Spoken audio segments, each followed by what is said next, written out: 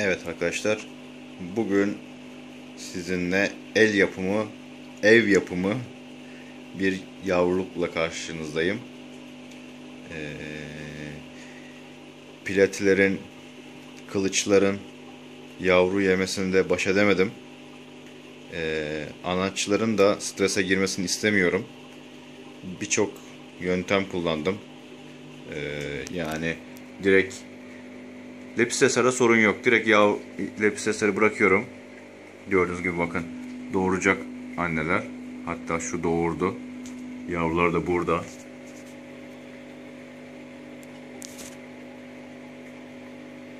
Kaçıyor yavrular. Hiçbir sıkıntı yok. Veya keza burada gördüğünüz gibi Lepistesler doğurdu. Bir sürü yavru var gördüğünüz gibi.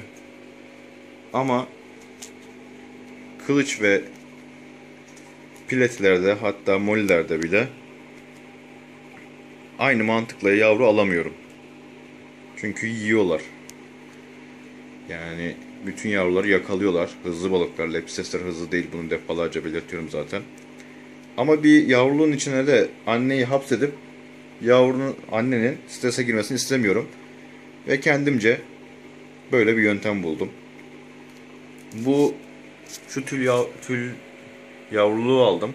Bu da yine aynı şekilde anneyi içine koyup yavrulutabiliyorsunuz. Aşağıya düşüyor yavrular ama e, bence balığı strese sokan bir durum. Çünkü dar yani kısmen aslında birçok yavrulara göre geniş ama bence dar.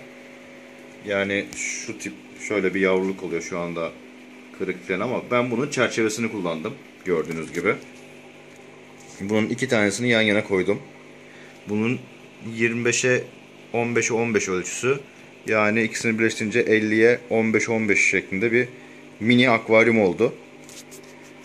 Etrafında sıva filesiyle geçtim. Ee, bu arada şeyleri detayları vereyim. Ben bunu internetten 7,5 liraya aldım tanesine. Birkaç tane aldım tabii ki.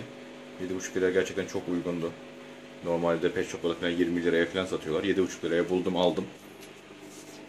Şunu da gidip bir yerden satın al alamıyorsunuz. Yapı marketlerinde 50 metrekarelikler 50 metrekarelik bir ölçüde satıyorlar. Küçük küçük satmıyorlar.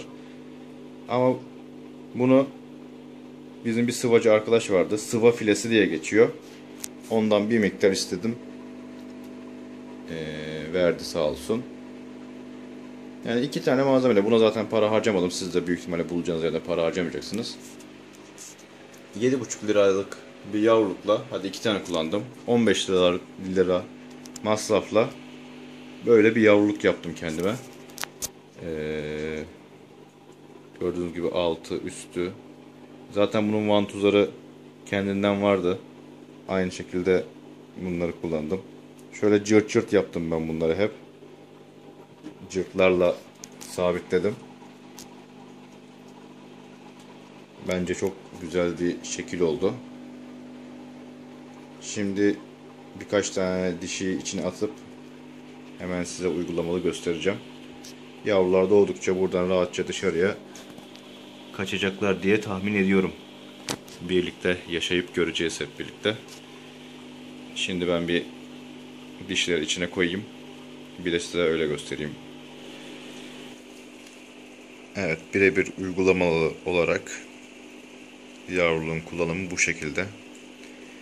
Gördüğünüz gibi 50 çarpı 15 çarpı 15 şeklinde balıklar rahat rahat içinde geziniyor.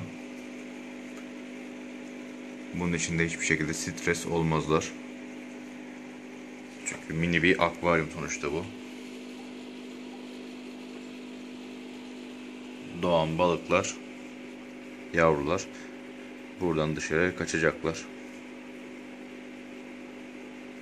Ve piletler, kılıçlar, molliler artık yavruları yakalayamayacaklar.